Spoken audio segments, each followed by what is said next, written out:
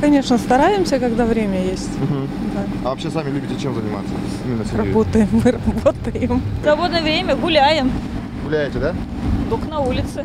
А так, у нас четверо детишек, свободного времени нас мало. Самое любимое время у нас это лето. Л- Лето и осень. Мы всегда выезжаем, когда бывает свободное время, всей семьей выезжаем на природу, отдыхаем на ходоте, собираем ягоды, грибы, фотографируемся и очень много снимков, в общем-то, делаем. Дети сейчас приедут на каникулы, на летние. Мы их вывезем в тундры, своих студентов, отдыхать будем.